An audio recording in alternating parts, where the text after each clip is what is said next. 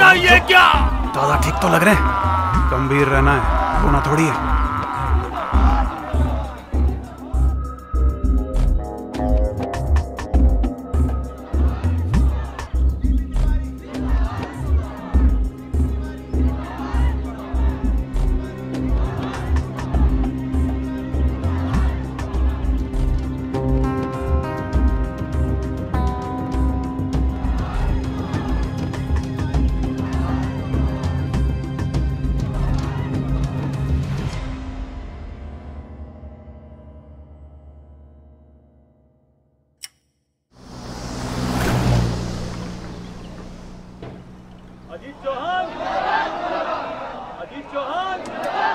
Sir party meeting में क्या हुआ? क्या आपके नाम की सहमति बनी? सर क्या तिवारी जी से आप समर्थन की मांग करने आए हैं? सर कुछ बताइए please sir sir sir sir.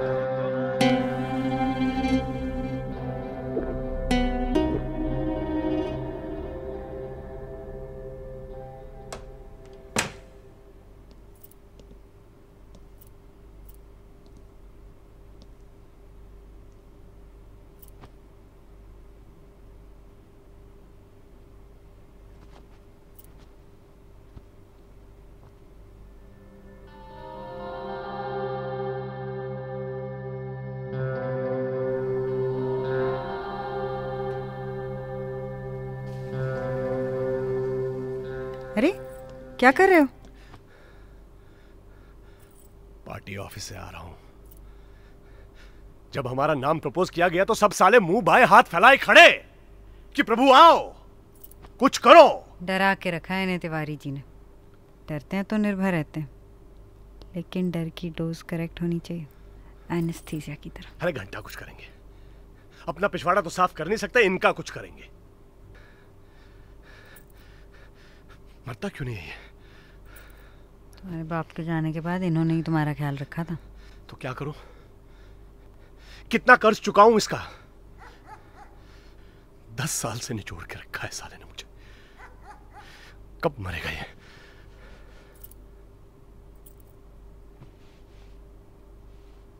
बहुत जल्दी। बिलीव मी बहुत जल्दी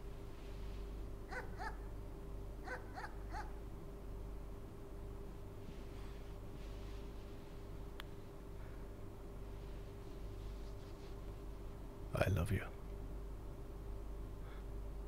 बिल्कुल करेक्ट डोज में। एनेस्थीसिया की तरह। और आपकी धर्मपत्नी? उसका क्या? उसको वक्त आने पर देख लेंगे।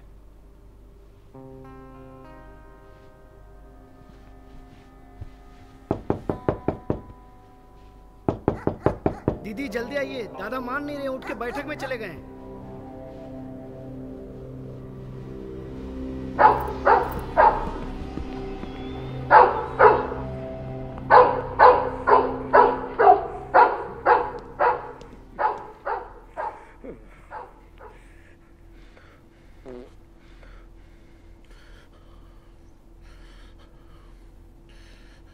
तिवारी जी, यहाँ क्या कर रहे हैं?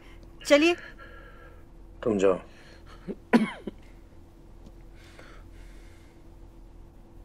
कहाँ हो? सिर्फ़ तुम्ही नहीं, हमने भी कैमरा लगा के रखा है।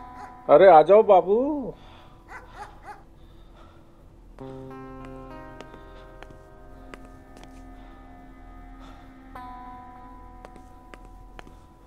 दादा प्रणाम।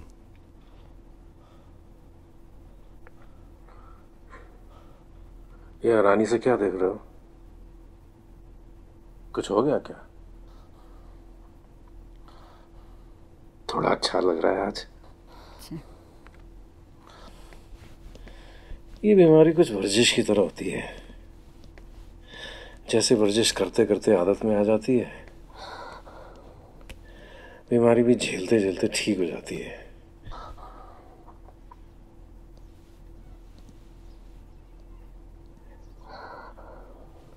क्या खबर? क्या खबर? जो तीस परसेंट हमारे साथ थे वो भी साले आप ही के आदेश का इंतज़ार कर रहे हैं? तब तो चिंता की कोई बात ही नहीं है। है क्या? तो फिर आदेश दे दो ना आज ही।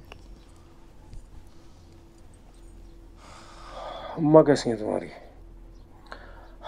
अब माता जी का क्या? पूजा पाठे में लगी रहती है? हाँ। जिस औरत ने अपनी पूरी ज़िंदगी तुम्हारे बाप की उल्टियाँ साफ़ करने में बिता दी हो उसको तो भगवान ही बचा सकता है। अरे आपसे बेहतर उनको कौन जानता था? आपके तो परम मित्र थे।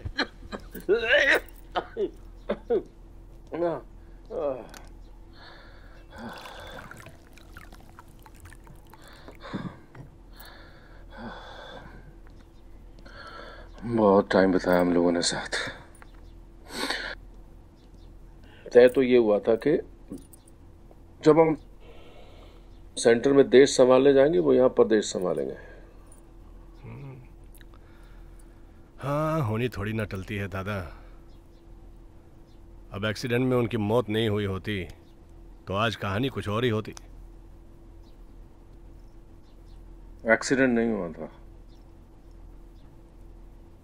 हमने मरवाया उनको।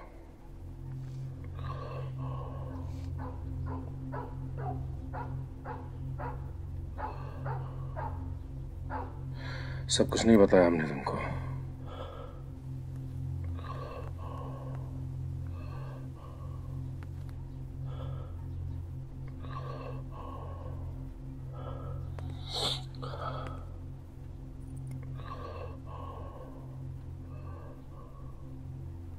अब आपने किया होगा तो सोच समझ कर ही किया होगा, दादा। प्रणाम। तबीयत कैसी है तुम्हारी? तबीयत को क्या हुआ? कुछ नहीं कभी कभी माथा घूमता है। स्ट्रेस है शायद। स्ट्रेस नहीं है। मर रहे हो तुम बबुआ। जहर दे रही है ये। हमको भी दे रही थी। पिछले महीने पता लगा मुझे। आर्सनिक है। चक्कर आते हैं। दम घुटता है। पानी की तरह से टट्टी निकलती है। आँखों के आगे अंधेरा छाता है। ऐसे ही बैठे बैठे निकल जाओगे।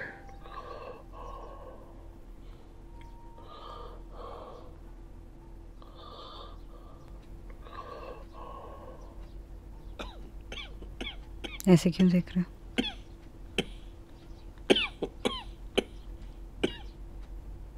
सच में प्यार हो गया था तुमसे। गलती हो गई।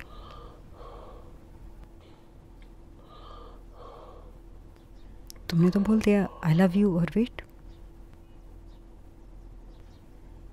वेट या टाइम विल कम ये भी बोलते हैं, ना? Wait your time will come when will my time come बहनचोद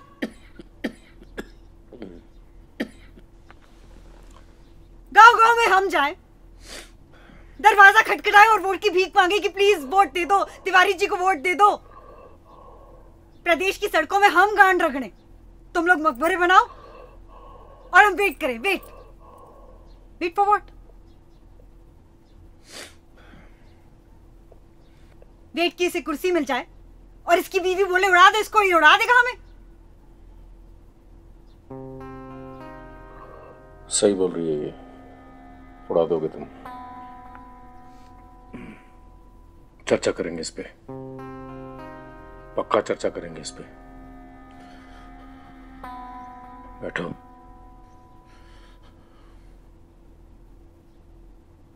फ़िलहाल पार्टी में एक समस्या है। कहानी नहीं है हमारे पास। इलेक्शन के समय एक कहानी की ज़रूरत होती है, जिस पे लोग यकीन करते हैं, नहीं है हमारे पास। अरे क्या देख रहे हो वैसे तुम लोग मेरे को? अरे मैं अरे मैं तो उन्हीं लोगों के साथ काम करने वाला हूँ। कहा जाऊँगा मैं? किसे नए खोलूँगा उसको ट्रेन करूँगा, कोई गारंटी थोड़ी है। वो मेरे को धोखा नहीं देगा।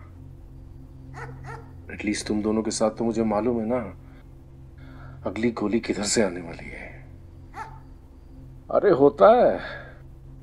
किया है मैंने भी।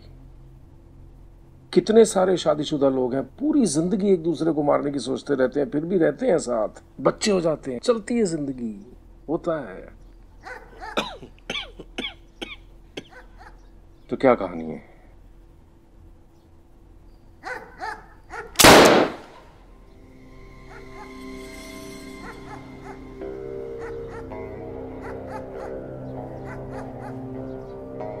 कहानी यह है दादा की एक नाटकीय घटनाक्रम में मुख्यमंत्री श्री डीपी तिवारी के सुरक्षा कर्मियों ने उनकी पुरानी सहयोगी और पार्टी के अहम नेता रजनी देवी को मार गिराया। बताया जा रहा है कि घटना के समय वो मुख्यमंत्री के लाइफ सपोर्ट को बंद करने की कोशिश कर रही थी।